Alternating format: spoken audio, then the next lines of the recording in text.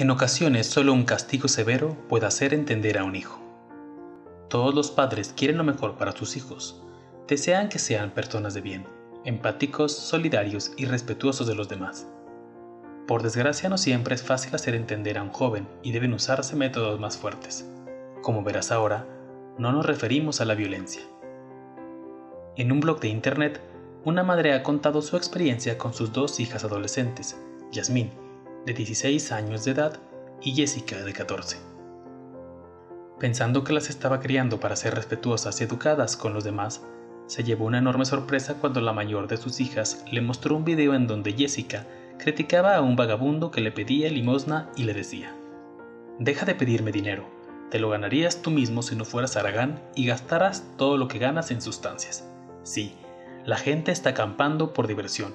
Incluso en diciembre, no puedes quejarte, Estás viviendo las vacaciones de alguien más. La madre no podía creer lo que veía.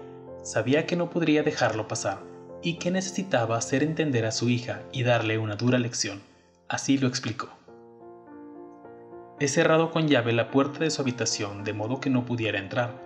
Puse un cartel escrito que decía, cerrado por vacaciones. Puse una carpa en el jardín y lo llené de mantas y la bolsa de dormir que usaba cuando iba de campamento a Noruega. Luego le dio un ultimátum a la chica.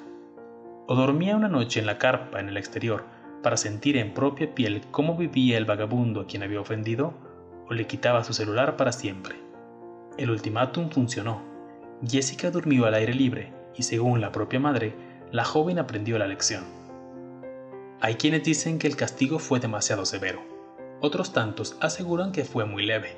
Pero lo importante es que Jessica no lo olvidará y sin duda será más amable y comprensiva con los demás. ¿Tú qué opinas? Haznoslo saber en los comentarios. Si te ha gustado este video, recuerda dar pulgares arriba, suscribirte al canal y activar la campanita para no perderte ninguna de nuestras increíbles historias de vida.